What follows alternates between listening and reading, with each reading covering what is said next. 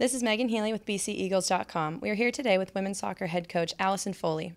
The team opened up ACC play at Duke last Saturday. With the team playing a man down for most of the game, are you encouraged by how your team played through the controversy?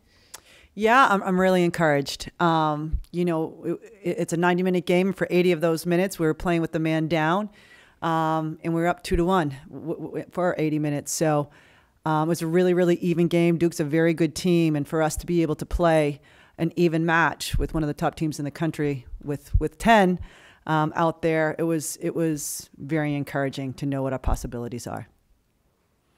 It's just one game, but can you assess how the freshmen handled their first ACC experience versus Duke? Yeah, they were great. I mean, they've that from from preseason to a non-conference and straight into the ACC. Um, they're they're just very steady.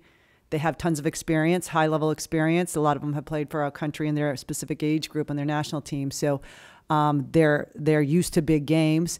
And in, in terms of making a transition in, in all facets, it's in, in the chemistry of the team, um, balancing their work and soccer. They've done a great job. And right into the ACC, they haven't missed a beat. On Thursday, Pittsburgh comes to Newton. Can you give us a preview of the matchup? Yeah, you know, Pitt and BC have had some really tough matches. Um, defensively, we'll have to we'll have to figure them out. They have a very good goalkeeper.